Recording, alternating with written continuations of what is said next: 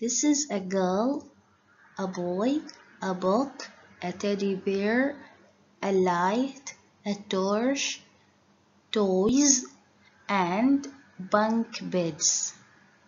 Now let's listen to the story. The children has bunk beds. The girl has the top bunk and the boy has the bottom bunk. When it is time to sleep, the naughty boy keeps playing with the light switch, turning it on and off.